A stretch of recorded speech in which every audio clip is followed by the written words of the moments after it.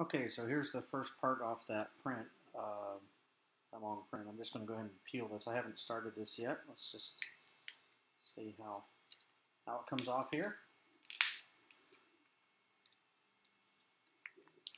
So it's, it's, it's coming off, well, there it is.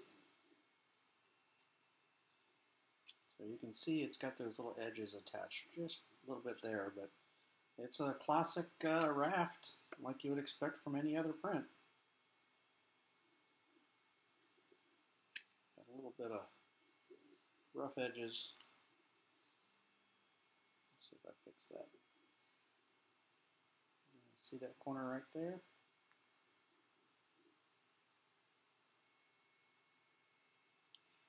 Same thing here.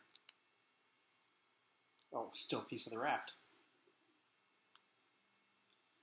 There we go.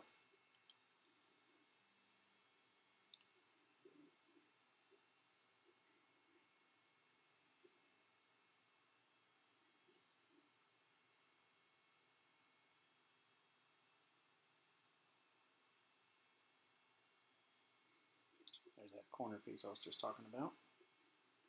These two are the front corners. So that's where it actually starts the print. Right along that line. Looking, thought I saw an artifact there, but there's nothing there.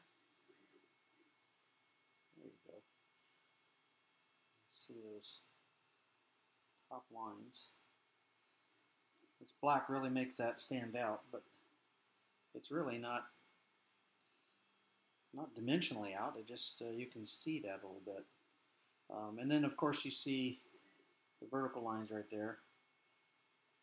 That's actually the infill in this part, kind of poking through. So we have a little bit of infill overlap issue, but that's the uh, raft coming right off.